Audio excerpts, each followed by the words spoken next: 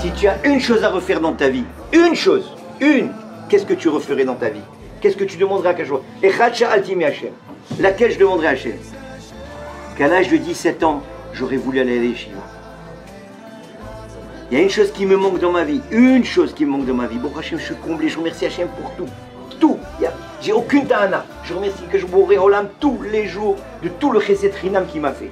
Il y a une chose que si j'avais on me demandait ça, Dia, qu'est-ce que tu referais dans ta vie s'il y avait quelque chose à refaire? Une chose. Et Bono Sholem, si tu me ramènes à l'âge de 17 ans, entre-moi la yeshiva. C'est tout.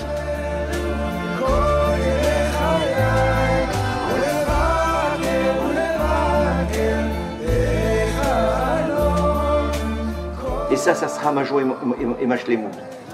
Alors les amis, vous avez cette opportunité. Vous avez pas 17 ans, vous êtes déjà né dans la sauce de la yeshiva. Dans la marmite, comme Astérix et Obélix. Vous êtes né dans la marmite. Et vous avez cette potion magique, la potion de la Torah. Profitez-en. Buvez-en. Abreuvez-vous. Lishov.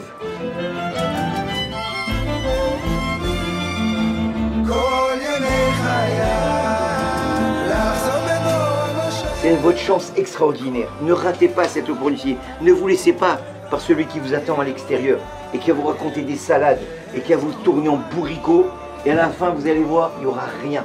Le seul émet, la seule vérité, le seul kiyum, la seule éternité, c'est la Torah.